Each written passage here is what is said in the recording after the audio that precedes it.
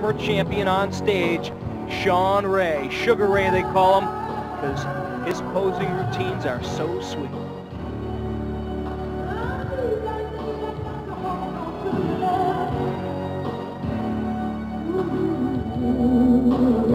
Mr. Consistency when it comes to bodybuilding is placed in the top five at Mr. Olympia for the, in the last six years. He has placed consistently high in all of the competition.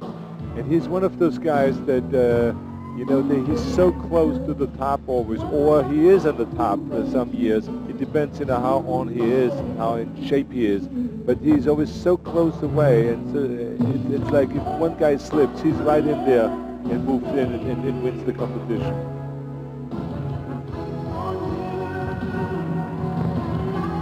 a great smile always, a, you know, winner's smile when he poses. He always looks very confident. Uh, he's a you know, handsome guy. He has a very symmetrical body. His muscles are well rounded and, and, and you know, very well defined and everything. So he really is a, a, truly one of the top guys in the world today. It has been for years now. The music he's posing to, James Bond movie, License to Kill. As we look at Mike Francois, last year's winner, and his wife Shannon. What a success story he was. A native of Columbus, Ohio, and he rocked the house, as you remember, Arnold. He sure did. It's too bad that he's here this year.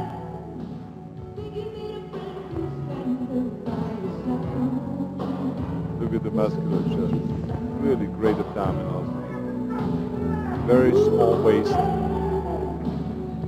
Great back, shows now. Look at the tricep. Yeah, another tricep pose. Now he's been probably side. Now oh, he's going to the back pose. Hold them long enough. good. Yes, yes, he's holding it. He's playing with it. You see, he did a double bicep, then he moved slowly up to another pose.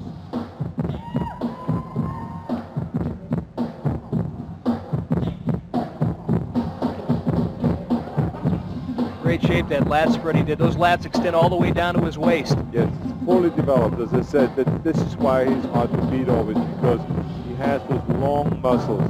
Look at his latissimus, very small waist, good definition, very good posing. Julio Rivera is backstage with Shawn. Thanks, Mike. Shawn, you won the show in 91. You're back now in 96. Why'd you decide to come back to the Arnold Classic? Um, well, after I won it in 91, there was nothing left to prove here. I want to try my hand at Mr. Olympia, try to become one of the greatest bodybuilders of all time by winning that show. And by doing so, I went from fifth, fourth, third, second. And now it seems that it's changing the criteria. It's going for the big mass monsters. And so I thought I'd come back here and give it another shot.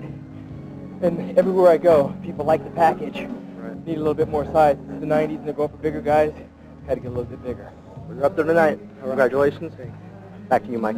All right, Julio, and here's another package that everybody seems to like.